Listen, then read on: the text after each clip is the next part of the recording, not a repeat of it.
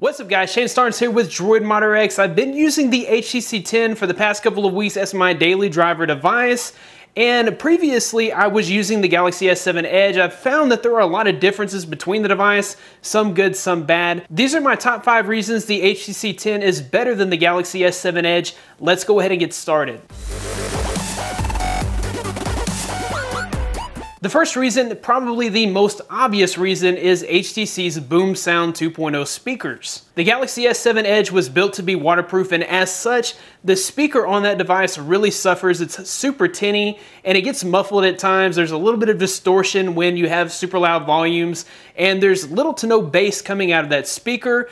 The same cannot be said for the HTC 10. Sound out of the HTC 10 is really nice, rich, and full. It has a two speaker setup with a tweeter up top and a bass speaker on the bottom. Those two speakers make for a much fuller and richer sound, and while it may not be as loud as previous iterations of boom sound on the M8 and M9, this speaker setup is still much better than the speaker on the Galaxy S7 Edge. The second reason the HTC 10 is better than the Galaxy S7 Edge is the front-facing camera. It is the first front-facing camera on a flagship device to include optical image stabilization. Let's face it, most of the pictures we take with our phones are selfish pictures or selfie pictures and what tends to happen sometimes if our hands are not stable, then those pictures turn out to be blurry and we have to delete that photo and retake a photo. With optical image stabilization on the front facing camera, you no longer have to worry about image blur when taking those awesome selfies. My third reason is more of a personal preference, but I'm sure many of you will share the same feelings.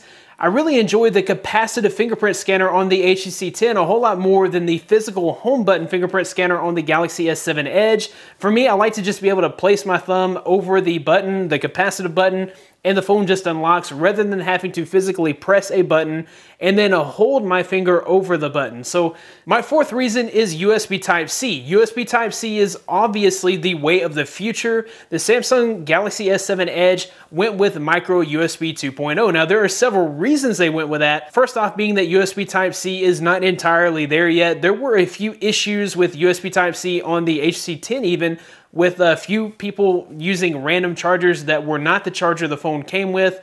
The devices were heating up uh, and getting super hot, but with updates that will improve and I think that the faster data rates and the faster charge rates will make USB Type-C a whole lot better on this phone than micro USB 2.0 on the Galaxy S7 Edge.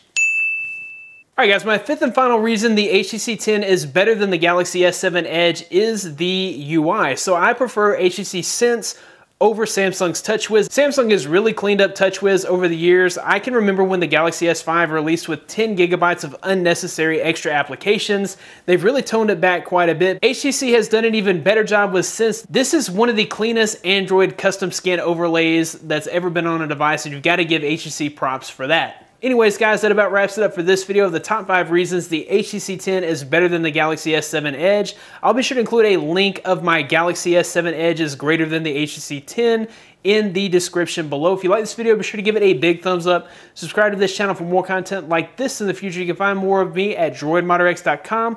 Follow me on Twitter at droidmodderx. Thanks, guys, for watching. Be blessed. I'll see you in the next one.